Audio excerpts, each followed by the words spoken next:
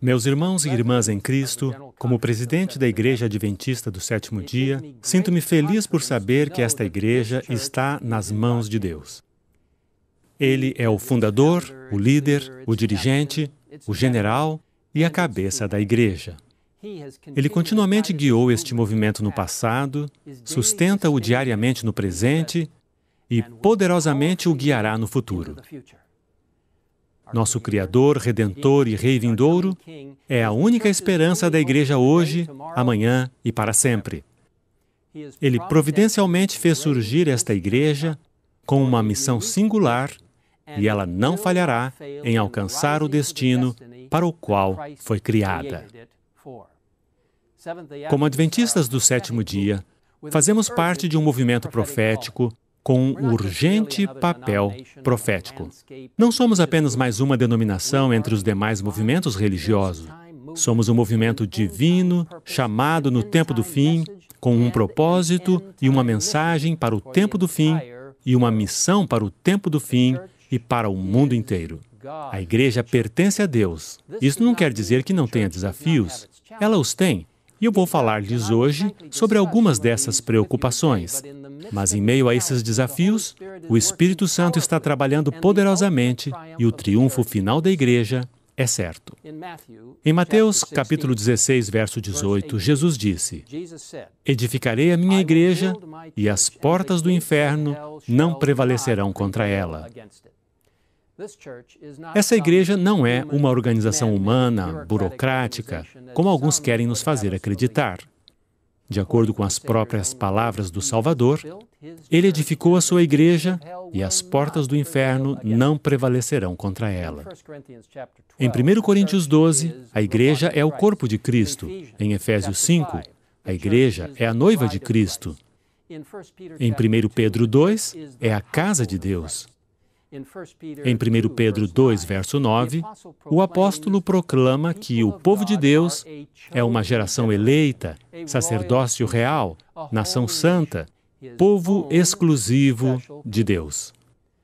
A mensageira profética de Deus para o remanescente, Ellen White, expressou-se da seguinte forma: A igreja é a fortaleza de Deus, sua cidade de refúgio que ele mantém no mundo revoltado. Qualquer infidelidade da igreja é traição para com aquele que comprou a humanidade com o sangue de seu unigênito filho. Ele enviou seus anjos para cuidar de sua igreja e as portas do inferno não puderam prevalecer contra seu povo. Atos dos Apóstolos, página 7. Cristo segura a igreja em suas mãos. É sua fortaleza, sua cidade de refúgio num planeta em rebelião uma luz nas trevas, um farol na noite e uma luz brilhante num caminho pouco iluminado à nossa frente. No mesmo livro, encontramos as seguintes palavras encorajadoras. Através de séculos de perseguição, conflito e trevas, Deus tem amparado sua igreja. Nenhuma nuvem caiu sobre ela para a qual não estivesse preparado. Nenhuma força oponente surgiu para impedir sua obra que ele não houvesse previsto. Tudo sucedeu como ele predisse. Ele não deixou sua igreja desamparada, mas traçou, por meio de declarações proféticas, o que deveria ocorrer. E aquilo que seu espírito inspirou os profetas a dizer tem se realizado. Todos os seus propósitos serão cumpridos. Sua lei está vinculada a seu trono e nenhum poder do mal poderá destruí-la. A verdade é inspirada e guardada por Deus, e ela triunfará sobre toda oposição. Cristo e sua igreja triunfarão no final. Jesus nunca perdeu uma batalha contra Satanás. Na cruz, ele triunfou sobre os principados e os poderes do inferno. Nós estamos do lado vitorioso, como bem lembra o majestoso hino Ó Cristãos Avante, escrito em 1864 por Sabine Baring Gould. Reinos, tronos e nações pereceram, mas a Igreja de Jesus permanecerá. As portas do inferno nunca prevalecerão contra a Igreja, pois esta é a promessa de Cristo, a qual nunca falhará. Todos os demônios do inferno não podem e não conseguirão frustrar os propósitos de Deus para a sua igreja, que triunfará no final. A verdade brilhará com mais intensidade e se fortalecerá, até que a revelação predita no capítulo 18 do Apocalipse, de que a terra se encherá com a glória de Deus, gloriosamente se cumpra. Em 1844, data exata do nascimento do movimento adventista, o poeta americano James Russell Lowell declarou uma verdade eterna quando escreveu o poema A Presente Crise, cujas palavras são hoje tão verdadeiras como quando ele escreveu décadas atrás. A cada homem e nação, pelo menos uma vez, chega o momento de decidir no conflito entre a verdade e a falsidade, a favor do bem ou a favor do mal. A verdade sempre sob condenação, o erro sempre no trono. No entanto, ainda que o futuro seja incerto, por trás das sombras, Deus está alerta cuidando daqueles que são seus. Nos momentos solenes da história da Terra, vemos evidências de que a verdade de Deus está triunfando sobre os poderes do mal. Vemos claras indicações de que Cristo está conduzindo a igreja de vitória em vitória. Vejamos juntos alguns fatos surpreendentes. Em 1863, ano em que a Igreja Adventista do Sétimo Dia foi organizada, havia um adventista para cada 356 mil pessoas no mundo. Hoje, há um adventista para cada 400 pessoas. A igreja precisou de 107 anos para alcançar o seu primeiro milhão de membros. Hoje, batizamos um milhão de pessoas a cada ano. Temos aproximadamente 25 milhões de pessoas frequentando nossas mais de 70 mil igrejas ao redor do mundo, em mais de 200 países. Deus está trabalhando. O Espírito Santo está se movendo de modo surpreendente. Como você sabe, o reavivamento é a nossa maior e mais urgente necessidade. Nos últimos anos, temos enfatizado o reavivamento, a reforma e a missão. Por reavivamento, queremos dizer o despertamento espiritual em nosso coração e mente. Por reforma, queremos dizer um profundo comprometimento espiritual para agradar a Jesus. A reforma ocorre somente quando submetemos nossa vontade à vontade de Cristo numa base diária. Ele então nos concede a compreensão de nossa missão, individualmente ou como igreja.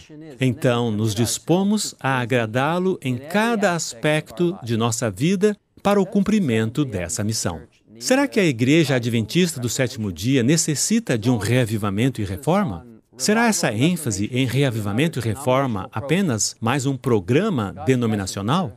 A mensageira de Deus para o remanescente, Ellen White, não nos deixa em dúvida ao afirmar: um reavivamento da verdadeira piedade entre nós, eis a maior e a mais urgente de todas as nossas necessidades. Buscá-lo deve ser nossa primeira ocupação. Importa haver diligente esforço para obter a bênção do Senhor. Não porque Deus não esteja disposto a outorgá-la, mas porque nos encontramos carecidos de preparo para recebê-la. Nosso Pai Celeste está mais disposto a dar seu Espírito Santo àqueles que lhe pedirem do que pais terrenos o estão a dar boas dádivas a seus filhos. Cumpre-nos, porém, mediante confissão, humilhação, arrependimento e fervorosa oração, cumprir as condições estipuladas por Deus em Sua promessa para conceder-nos Sua bênção. Só podemos esperar um reavivamento em resposta à oração.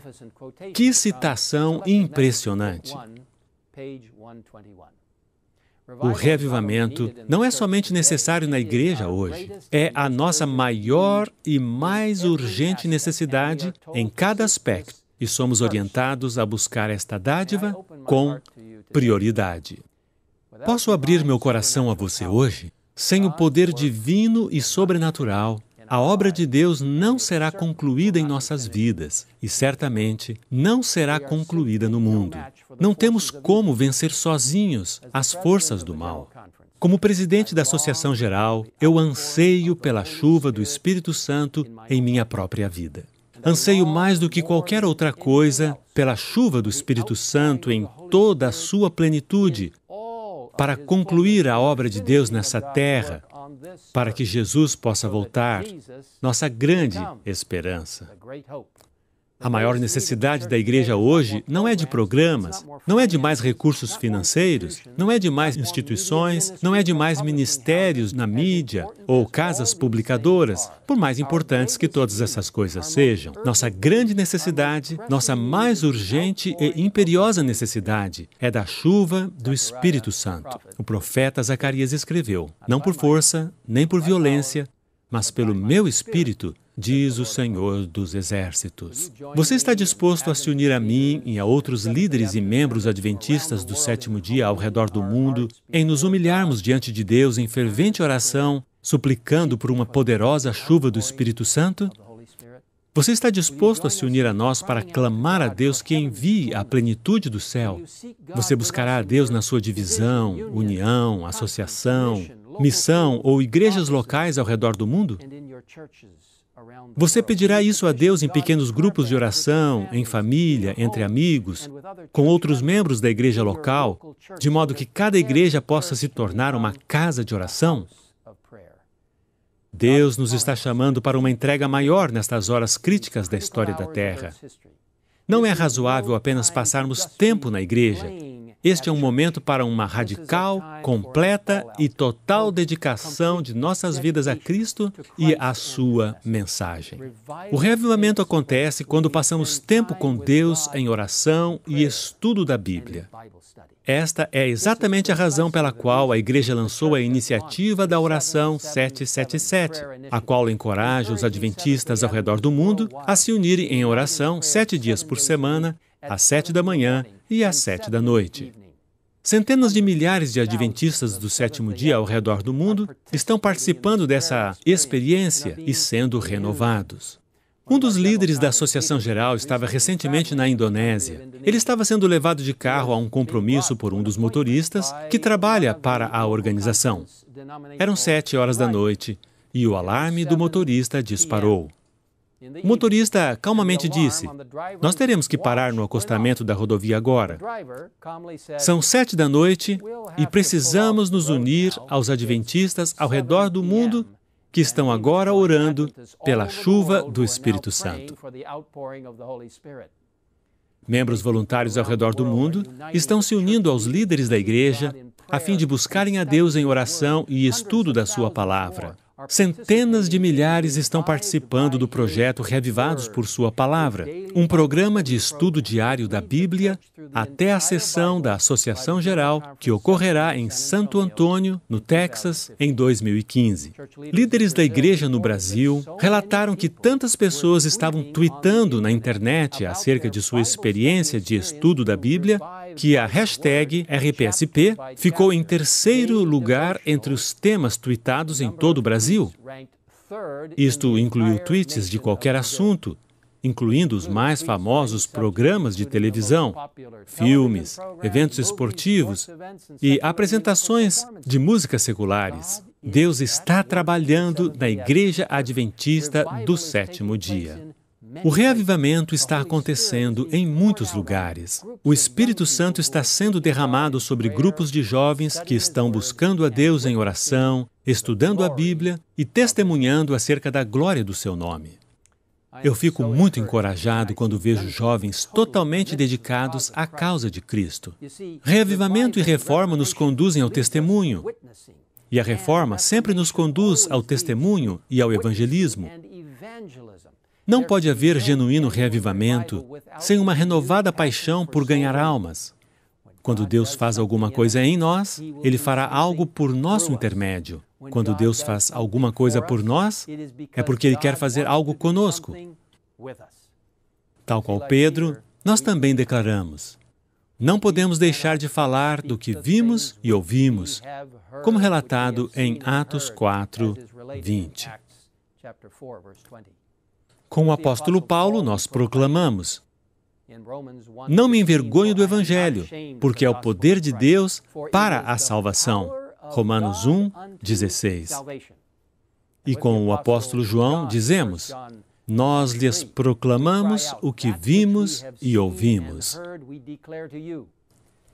Todos os grandes movimentos de reavivamento e reforma que ocorreram na história têm sido acompanhados por grandes períodos de evangelismo e testemunho. Isso aconteceu não apenas nos tempos do Novo Testamento, mas também na reforma do século XVI, com Martinho Lutero e outros reformadores, como John Wesley e George Whitefield, que lideraram reavivamentos na Inglaterra. O mesmo aconteceu com o grande despertar do advento na América do Norte e, subsequentemente, na história inicial da Igreja Adventista do Sétimo Dia. Sem reavivamento reforma, nossas atividades missionárias serão destituídas de poder. O evangelismo, sem o reavivamento, produz resultados ínfimos. Corações são tocados e vidas são transformadas unicamente pelo poder do Espírito Santo, não o nosso poder.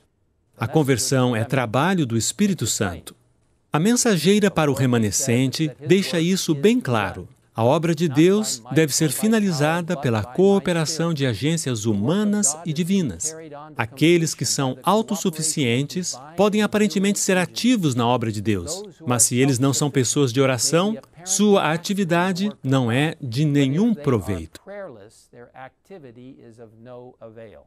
Pudessem eles olhar para o incensário do anjo que permanece de frente do altar de ouro, perante o trono cercado pelo arco-íris, veriam que os méritos de Jesus precisam ser misturados com nossas orações e esforços.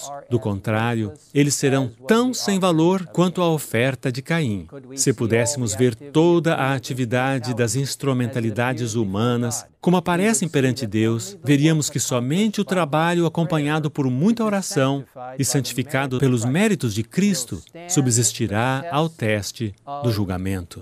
Review and Herald, 4 de julho de 1893. Quando o reavivamento e a reforma não encontram expressão em nossos esforços missionários, logo degeneram em mero conversa sentimental e, com o tempo, desaparecem. É por isso que há uma renovada ênfase no evangelismo na igreja hoje.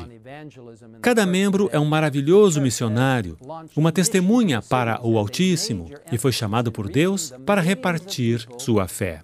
A igreja lançou as missões urbanas como uma de suas maiores ênfases para alcançar milhões de pessoas em cerca de 650 das maiores cidades do mundo. No último ano, tive o privilégio de dirigir uma grande série evangelística na cidade de Nova York. A série Apocalipse da Esperança, da qual participei, foi uma das 400 séries evangelísticas realizadas na Grande Nova York como parte da nossa ampla abordagem evangelística para alcançar esta cidade para Cristo. Pastores, evangelistas e administradores pregaram a palavra de Deus. Pastores e membros voluntários causaram um impacto significativo para Jesus Cristo por meio do seu poder. Esta ampla abordagem incluiu equipar centenas de leigos para testemunharem em harmonia com seus dons. Evangelismo de saúde, ministérios jovens, serviços bíblicos, estudos bíblicos nos lares, distribuição de literatura, evangelismo leigo, evangelismo da amizade e reuniões de evangelismo público. Como resultado desse esforço, mais de 4 mil pessoas já foram batizadas. Diversas cidades ao redor do mundo têm promovido eventos semelhantes com excelentes resultados.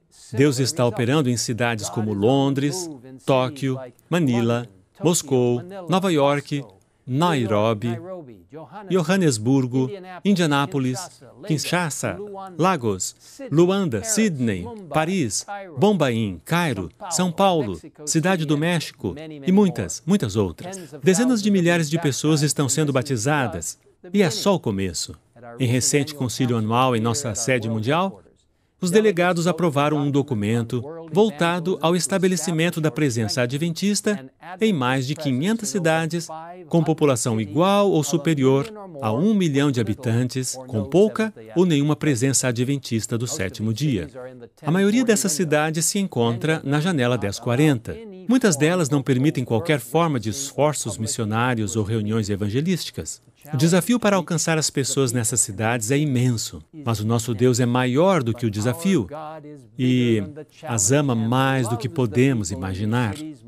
Nosso coração se comove diante dos milhões que vivem nessas cidades e não conhecem a Cristo e sua verdade para a última hora da terra. Estamos planejando estabelecer centenas de centros de influência, incluindo salas de leitura, centros de saúde, restaurantes vegetarianos, centros comunitários e muitas outras oportunidades missionárias nos lugares mais difíceis de serem alcançados. Juntamente com as missões urbanas, lançaremos um amplo ministério de saúde, tendo como modelo o Ministério de Cristo. Estamos encorajando cada igreja a se envolver em ministérios de amor para atender às necessidades de suas comunidades, em nome de Jesus. Nossas leituras da Semana de Oração para 2014 trarão artigos do livro Somente os Métodos de Cristo. O livro missionário para o ano de 2015 terá como foco a saúde integral. Ainda em 2015, cada igreja e instituição adventista do sétimo dia será encorajada a oferecer a dádiva da saúde para sua comunidade numa semana de saúde especial. Fico até emocionado ao ver o que Deus tem feito por esta igreja. São inúmeros os relatos para transmitir-lhes em curto espaço de tempo. Um dos projetos que indicam o poderoso mover de Deus é o projeto de distribuição do livro O Grande Conflito, que Ellen White nos encorajou a espalhar amplamente mais do que qualquer outro livro escrito por ela. Havíamos colocado o alvo de distribuir 50 milhões de exemplares e um alvo de fé de 100 milhões. Mas, por meio de seu poder e da intervenção de Deus, mais de 140 milhões de exemplares foram distribuídos em diversas versões. Deus seja louvado. Esses livros estão sendo lidos por milhões de pessoas, produzindo transformações e incrível expansão da obra de Deus e nos encorajando. Ao mesmo tempo, como igreja, estamos enfrentando enormes desafios. Quero apresentar quatro que me preocupam. De maneira alguma estou sugerindo que esses problemas espirituais estejam afetando todos os membros da igreja, mas eles são sérios o suficiente para que lhes demos atenção. Lembro-me do que Paulo falou aos anciãos da igreja em Éfeso. Vocês sabem que não deixei de pregar nada que fosse proveitoso. E então acrescentou: Pois não deixei de proclamar toda a vontade de Deus. Como pastor dos cristãos adventistas do sétimo dia ao redor do mundo, meu amor pela igreja e fidelidade à palavra me impelem a repartir algumas de minhas preocupações.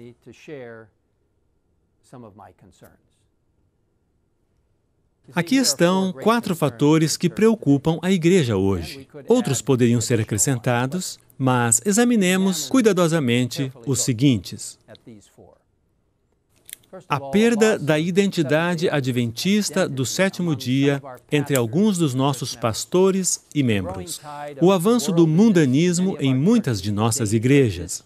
O perigo da desunião. A apatia e a acomodação espiritual que levam à falta de envolvimento com a missão da igreja. Estes itens me preocupam. Falarei sobre cada um deles, explicando-os melhor. Primeiramente, é muito importante compreendermos que a Igreja Adventista do Sétimo Dia é muito mais do que uma outra denominação qualquer. De acordo com Apocalipse 14, ela nasceu do desapontamento de 1844, assim como a Igreja do Novo Testamento nasceu do desapontamento da cruz no ano 31 depois de Cristo.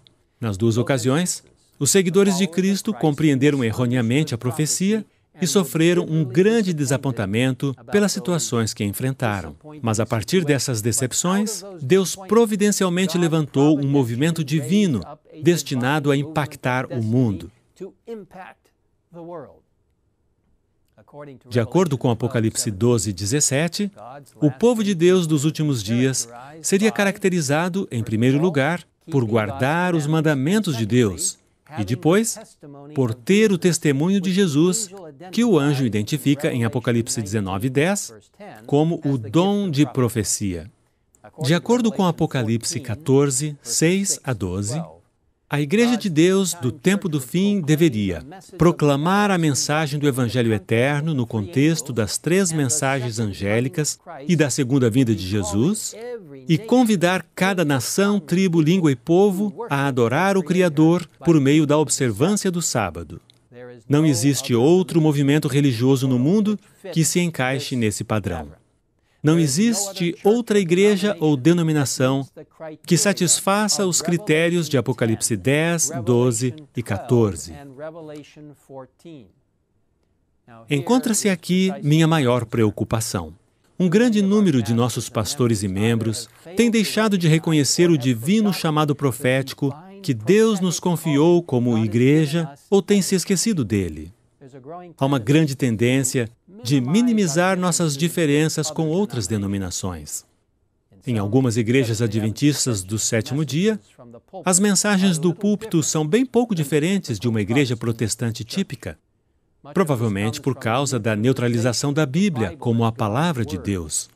É de vital importância que baseemos as nossas crenças na palavra de Deus, usando o método bíblico histórico de estudar as Escrituras, buscando compreender as profecias a partir de uma perspectiva historicista. A palavra de Deus deve ser o fundamento de nossas crenças, fé e vida prática. O Espírito Santo nos conduzirá a toda a verdade se estudarmos a Bíblia, orarmos e ouvirmos a voz de Deus. Isso nos ajudará a estabelecer a identidade adventista do sétimo dia. A ausência da identidade adventista tem levado alguns a duvidar da literalidade dos sete dias da semana da criação, negar o dilúvio universal e reduzir o sábado unicamente a um descanso do estresse ao invés de um sinal que nos identifica com o próprio Criador e Redentor. Existem alguns que gostariam de reinterpretar as profecias de Daniel e Apocalipse para encaixá-las num modelo mais contemporâneo. Eles veem a interpretação histórica das profecias como uma relíquia do pensamento do século XIX. Lembro-me da clara declaração de Ellen White. O Evangelho completo é abarcado na mensagem do terceiro anjo. E em todo o nosso trabalho, a verdade deve ser apresentada como é em Jesus. Que nada enfraqueça a força da verdade para este tempo. A mensagem do terceiro anjo deve fazer o seu trabalho de separar das igrejas um povo que assumirá o seu papel na plataforma da verdade eterna. Nossa mensagem é de vida ou morte e devemos permitir que a sua solenidade seja percebida. Temos uma mensagem de vida ou morte a apresentar ao mundo. Os adventistas do sétimo dia foram levantados como Noé, a fim de preparar o mundo para suas horas finais. Fomos levantados como João Batista para preparar o mundo para a vinda de nosso Senhor. Jamais devemos nos esquecer de quem somos e por que estamos aqui. Não podemos, não devemos e não iremos degenerar a pontos de nos tornarmos mais um entre tantos movimentos religiosos existentes com pouco foco no tempo do fim e sem uma clara razão para sua existência. Eu estou plenamente seguro de que, guiado por Jesus Cristo e fiéis à nossa herança profética, o movimento adventista irá triunfar afinal. Apelo a você de todo o coração. Seja fiel ao chamado que Deus lhe concedeu como adventista do sétimo dia. Abrace esta mensagem em sua totalidade e, cheio do Espírito Santo, saia para reparti-la com o mundo. Esta é minha segunda enorme preocupação. A crescente influência do mundanismo em nossas igrejas é alarmante. Jesus abordou este ponto quando orou: Não rogo que os tires do mundo, mas que os protejas do maligno. João 17, 15. O apóstolo João acrescentou: Não amem o mundo, nem o que nele há. Se alguém ama o mundo, o amor do Pai não está nele. Pois tudo o que há no mundo, a cobiça da carne, a cobiça dos olhos e a ostentação dos bens, não provém do Pai, mas do mundo. O mundo e a sua cobiça passam, mas aquele que faz a vontade de Deus permanece para sempre. Que lindos versos de 1 João 2, 15 a 17. Beautiful verses from 1 John 2, verses 15 to 17. A Igreja sempre enfrentou o perigo de perder de vista o compromisso de lealdade a Cristo em decorrência da crescente tendência de permitir que o mundo modele a sua forma de pensar. Quanto mais nos aproximamos do fim dos tempos, mais o diabo redobrará seus esforços nesse aspecto. Estou preocupado com a vassoladora onda de mundanismo que está invadindo algumas de nossas igrejas. Padrões que uma vez foram valorizados pelos adventistas do sétimo dia, nas áreas da alimentação, do vestuário, da recreação e da diversão, bem como na observância do sábado, estão se tornando coisas do passado.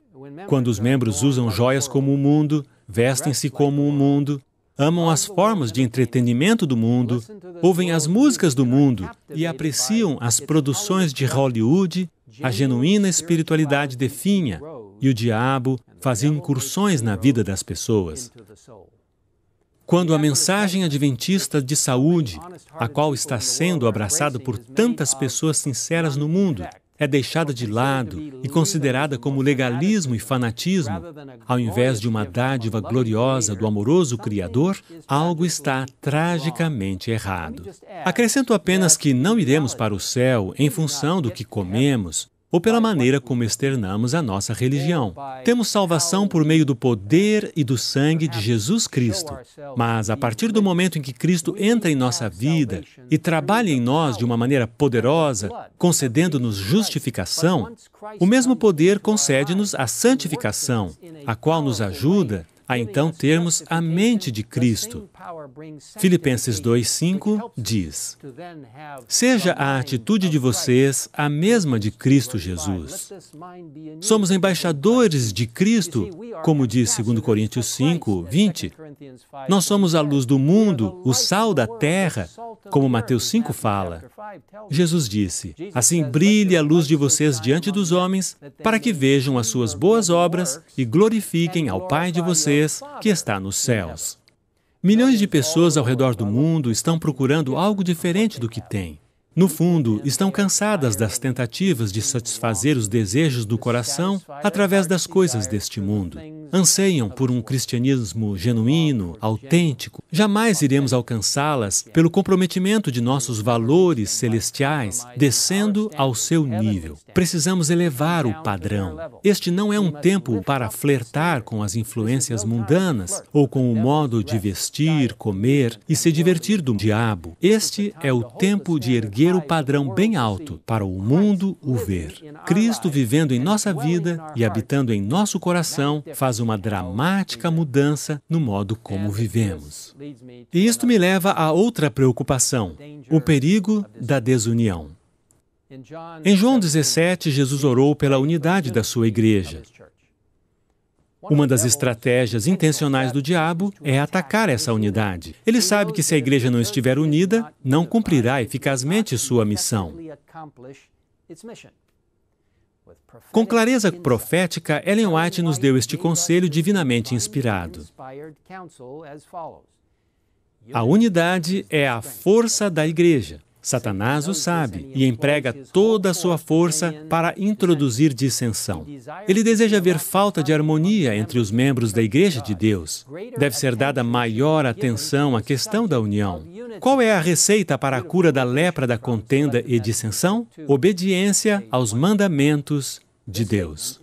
Esta maravilhosa citação é extremamente esclarecedora a respeito das táticas do diabo. Abre a cortina e revela suas estratégias. O inimigo usa todas as suas forças para trazer dissensão e conflito, para neutralizar os esforços missionários do povo de Deus. Este é o tempo para administradores, pastores e membros tornarem-se unidos em Cristo, sob a bandeira da sua verdade, para pregar sua mensagem ao mundo. Deus instituiu a Igreja Adventista do Sétimo Dia como uma organização divinamente inspirada, tornando-a portadora de conselhos, denominados praxes denominacionais, os quais, sob a guia do Espírito Santo, têm contribuído para nos manter unidos como uma família mundial. Descartar ou ignorar esses acordos mútuos é quebrar um legado sagrado e cria desnecessária discórdia. Eu oro para que cada um de nós ponha de lado as opiniões pessoais em benefício do corpo de Cristo, para que juntos avancemos na direção do reino de Deus. Vou falar agora a última de minhas principais preocupações a crescente apatia e acomodação espiritual prevalecente na vida de muitos líderes e membros de igreja, e eu preciso incluir a mim mesmo. Parece haver uma paralisia espiritual na vida de muitos membros adventistas. Precisamos examinar nossas vidas para nos certificarmos de que Deus está trabalhando em nós de uma maneira vital, e eu falo para mim também. Recentes pesquisas indicam que a grande maioria dos membros da igreja creem nas doutrinas essenciais da Igreja Adventista do sétimo dia. Eles praticamente não questionam as 28 crenças fundamentais, mas existe uma crescente acomodação ou preguiça de repartir a fé. Há uma apatia no testemunhar. Os membros creem, mas simplesmente não estão envolvidos na missão da igreja. Eles são parte da cultura do não envolvimento, ao invés da cultura dos envolvidos. Não há fogo em seus ossos, há pouca paixão por repartir sua fé em Cristo Jesus. Não há urgência em suas almas. Meus irmãos e irmãs, sem ativo envolvimento no serviço de Cristo, não cresceremos espiritualmente. A profetisa de Deus não poderia ter dito de forma mais clara: a própria vida da igreja depende de sua fidelidade em cumprir a comissão do Senhor. Negligenciar essa obra é certamente convidar a fraqueza e a decadência espirituais. Onde não há ativo trabalho em benefício de outros, o amor diminui e definha a fé. Que poderosa citação! Envolvimento é a resposta para a apatia. Como a profetisa de Deus disse, onde não há ativo trabalho em benefício de outros, o amor diminui e definha a fé. Agora, se você quer permanecer vivo espiritualmente, envolva-se. Se você quer ter uma vibrante vida de oração, envolva-se. Se você quer apreciar mais a palavra de Deus, envolva-se. Se você quer ter um amor mais profundo por outras pessoas, envolva-se. Se você quer ver pessoas salvas para Jesus, envolva-se. Se você quer ver Jesus voltando logo, envolva-se. Una-se a centenas de milhares de líderes e membros adventistas do sétimo dia ao redor do mundo que estão ativamente envolvidos na missão da igreja. Deus quer nos usar para proclamar sua verdade profética a cada canto do globo especialmente nos enormes centros metropolitanos, através do projeto Missões Urbanas, utilizando toda a modalidade de evangelismo urbano, incluindo o Ministério da Saúde e muitos outros métodos abrangentes. A tarefa é grande, mas Deus está no controle, liderando o seu povo. A igreja tem desafios? Com certeza mas vejo evidências do Espírito Santo se movendo poderosamente entre seu povo. Vejo evidências do Espírito Santo fazendo algo especial, promovendo intensa atividade em nossos dias, em sua igreja. Eu vejo evidências do Espírito Santo preparando um povo para o breve retorno do nosso Senhor Jesus.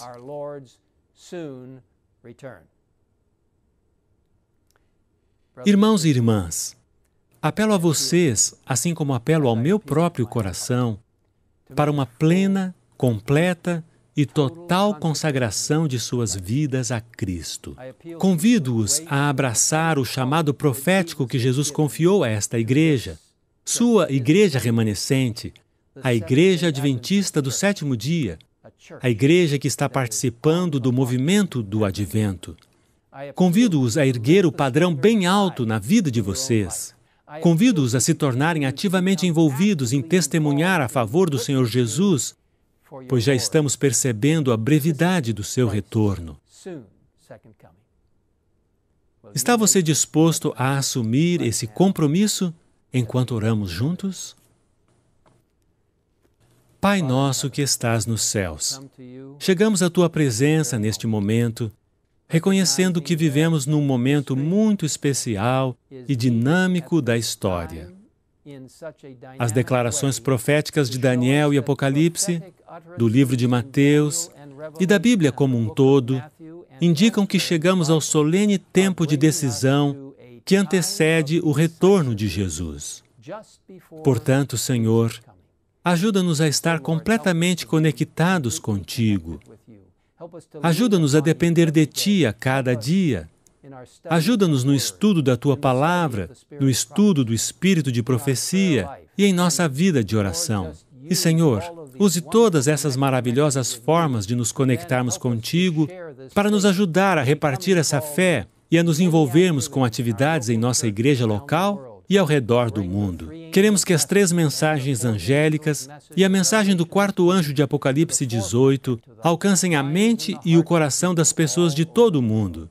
Senhor, peço que abençoes cada membro, jovem ou idoso, da Igreja Adventista do sétimo dia. Esteja com aqueles que estão frequentando nossas igrejas e ainda não são membros. Esteja com aqueles que estão interessados nas verdades da Bíblia e ajuda-nos a pregar o Evangelho a todas as pessoas através das missões urbanas e das missões rurais, utilizando todos os métodos possíveis. Senhor, envia-nos o Espírito Santo.